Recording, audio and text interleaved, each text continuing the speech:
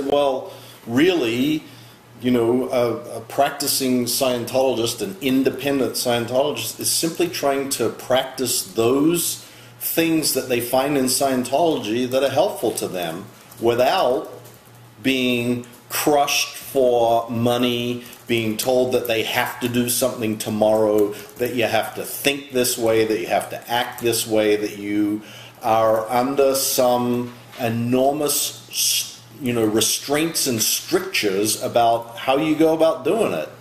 I mean, when you get something that is as personal as religious belief and practice, this dictating how you go about doing it is almost, it's almost like a, a, a uh, the word just slipped my mind, an oxymoron.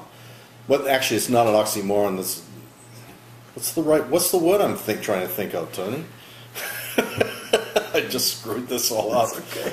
It's you know it's a it's a it's a contradiction of terms really to say okay you, we're going to we're going to to bring you to an understanding of yourself and spiritual enlightenment and we're going to control every single aspect of how that is accomplished. It just can't work that way. I said to you that I believe that the irony of all ironies is the Church of Scientology saying with a slogan, think for yourself. Because if there's one thing that the Church of Scientology is not about, it's people thinking for themselves. You've got to think the way that you are told to think. You don't have the opportunity to think the way you want to think or think is the right way to think. You only can think the way they, they tell you to. There's a lot of people out there that would that would disagree with